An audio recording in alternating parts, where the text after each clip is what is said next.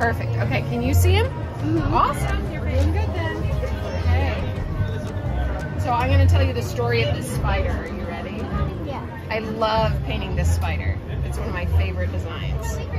So we're gonna take this and we're gonna start right here with a big red dot right in the middle of your forehead. Right there.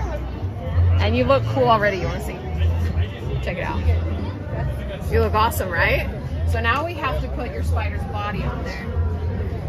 Gonna take this giant brush. This brush, every round brush like this has a number on it. This is the number eight round brush, so it's really big. And we're gonna draw your spider's body, and it's gonna look a little bit like a ladybug, but it won't at the end once we give it the spider legs. Thank you. So we're gonna come right here. Here, we're gonna tilt you down right there. Okay. So we're gonna do go a little point on the top and a point on the bottom.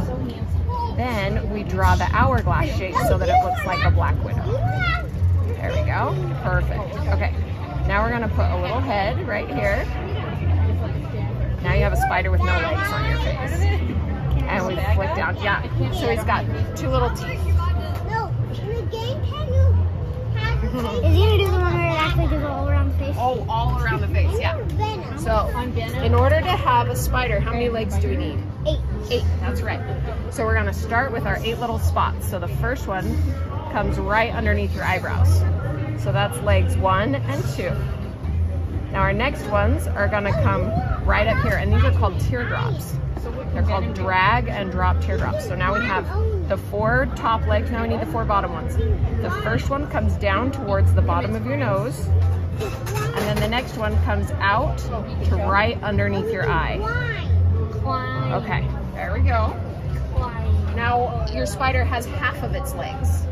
Has all eight, but they're all very short, so we have to make them long now. So we go right to the middle, and we pull this one up, and we pull this one up, then we pull this one down, and we pull this one down, Did you like it? pull this one up, pull this one up, pull this one down, You're doing pull this good. one down. He really is. Then, because you're awesome, we're gonna give you some little spider fangs right there at the bottom, because that looks super cool. Okay, so now your legs are all there, but we want this spider to not just look okay, we want it to look amazing. So, we need some white. White is the amazing face paint color. Yeah. All right, Like mine. that's right. So we're gonna get a little bit of white here. We're gonna start here with your little spider teeth. Love it. And then we'll come here, and spiders have eight eyeballs, just like they have eight legs, but I like to give it two big eyes and then a bunch of little ones. Then we do a highlight here and a highlight up here.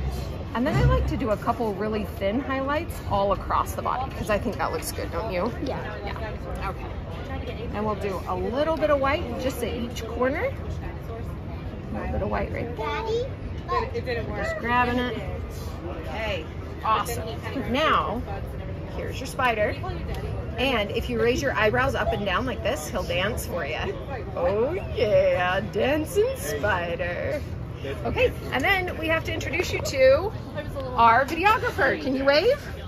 I'm the dad.